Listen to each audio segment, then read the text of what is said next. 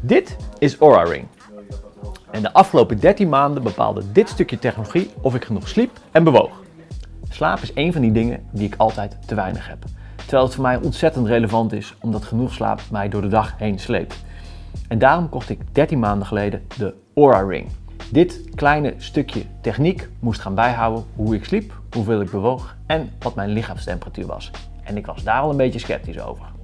Eerst even over de ring zelf. Dit is een zogenaamde activity tracker. Houdt bij hoeveel je beweegt, hoeveel je slaapt, wat je hartslag is en zelfs je lichaamstemperatuur wordt gemeten door dit kleine stukje technologie.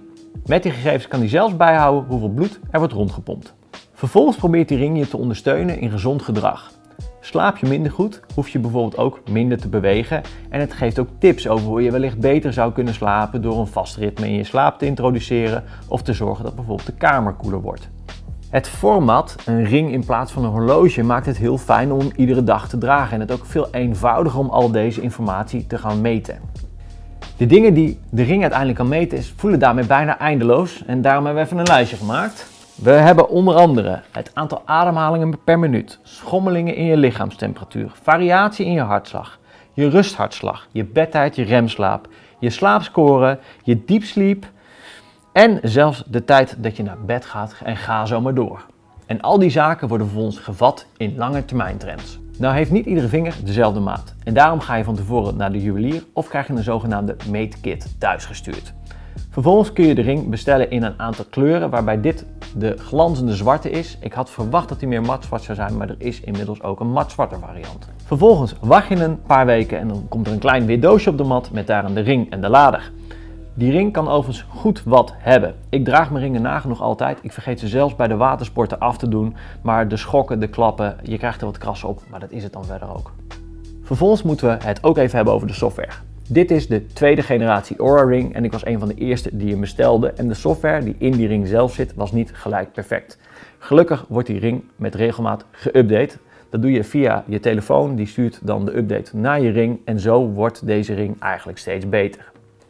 De ring communiceert met de app via Bluetooth en dat vraagt stroom. Daarnaast zitten er allemaal sensoren in die volgens mij periodiek meten en niet continu, maar ook dat vraagt stroom. De standby tijd van de ring is daarmee een dag of 3, 4. Wil je echter dat hij langer meegaat, dan kun je de ring in flight mode zetten, waarbij hij niet meer communiceert totdat hij opnieuw om de lader gaat en dan haal je uiterlijk 7 dagen. Bij de ring wordt een speciale lader geleverd, waar de ring exact op past. Aura raadt je aan om de ring iedere keer helemaal 100% op te laden, dan gaat de accu het langste mee. Dat opladen duurt ongeveer anderhalf uur en dan gaat hij van 0 naar 100%. Ik merk wel dat de accu snel minder aan het worden is en na een jaar gebruik zit ik op ongeveer de helft van de capaciteit die ik aan het begin had. Het laadsysteem werkt erg goed.